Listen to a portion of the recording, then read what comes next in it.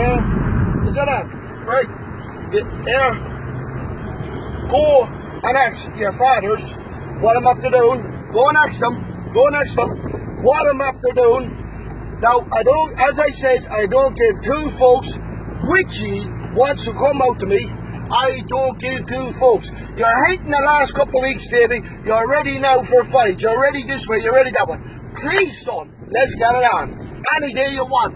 I'll meet you on the 17th. But also, Davy, you your brothers reply to me. Reply to me now. And I promise you, I will meet you at your front door of your houses. Do you know when you get up in the morning to bring your children to school, I will be there waiting for you.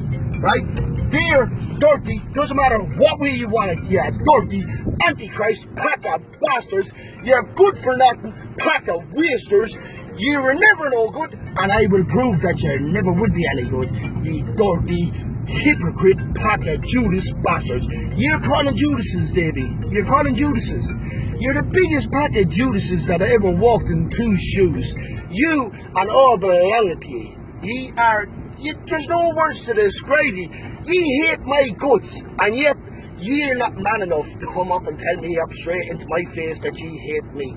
Not one of ye, not one of your family is able to say that. I'm going up and down with a guy for the last number of weeks. Since this fight came on with me and you, you good for nothing pack of bastards. And yet, you're able to walk up and down like, oh well Michael, how are you doing? Oh this and that shite, right? Come on, me you don't like me. I prefer you if you done that instead of sweet chat me, you innocent bastard, she. The whole lot of you, you innocent pack of mongrel bastards.